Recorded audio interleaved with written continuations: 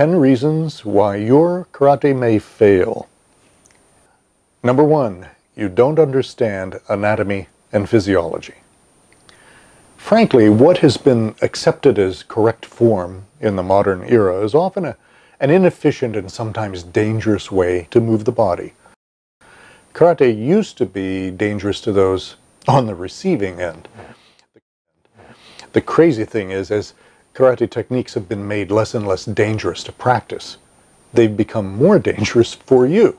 People blow out their knees, damage their elbows, their hips, and find that they can't do that kind of karate after they're older. This is because the emphasis went from effective self-defense to something that's sort of like a performance art. How it looks is considered more important than how it works. Success in self-defense depends on distinguishing vulnerable targets from strong ones.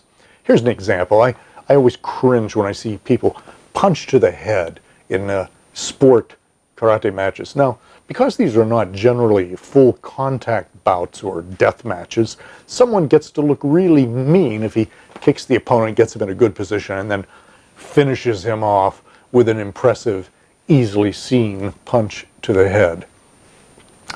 You don't have to be uh, a medical doctor to figure out that hands break easier than heads. This is why boxers tape their hands and then wear padded gloves. Uh, you think they do it because they're humanitarians? Old style karate is very clear about this. Hard weapon to soft targets. Soft weapon to hard targets. Most parts of the head are so hard that not only would it injure your hand, but the hard structure of the cranium would prevent a lot of the shock of a punch from reaching the brain. But striking with the palm creates a reverberation within the skull that impacts the brain and will not damage the hand. The human body has some predictable weaknesses, but then you have to tailor your approach uh, according to variations in body type. Obviously, you can knock out a pencil-necked geek with a punch to the jaw easily, but not a thick-necked linebacker type.